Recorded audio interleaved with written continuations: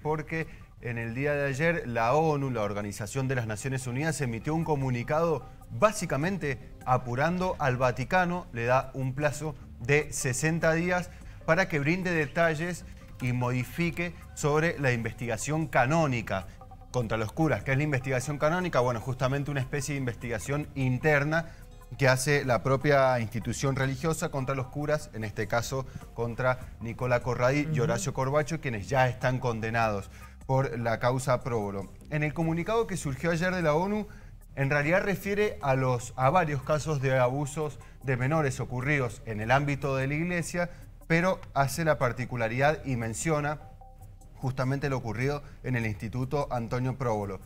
Recordamos que el año pasado justamente los sobrevivientes de los abusos en el próbolo habían viajado a la ONU, a Suiza, para exponer el caso ante este organismo, acompañados por eh, la organización SUMEC, que es quien justamente ha sido creyente en las causas aquí en Mendoza.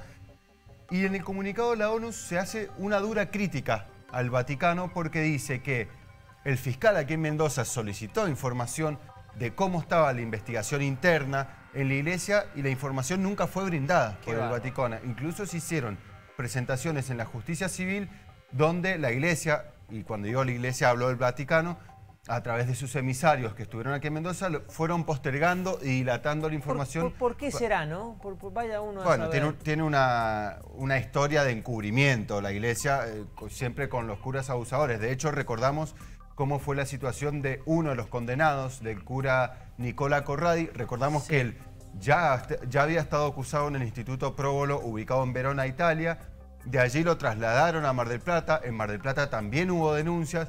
Y de allí lo trasladaron a Mendoza, donde otra vez volvió a reincidir con los abusos. Claro. Entonces esto delata, y justamente el comunicado de la ONU habla de, de esto, delata el encubrimiento sistemático que se le da por parte del Vaticano. Es terrible hasta casi igual de grave que los abusos en sí, eh, que le da el Vaticano a estas personas. Lo cierto es que ahora eh, empieza a correr un plazo de 60 días donde en definitiva el Vaticano deberá informar cómo fue la investigación canónica de estos dos curas en particular y además modificar su normativa. ¿Pero tiene que hacerlo sí o sí o puede no hacerlo?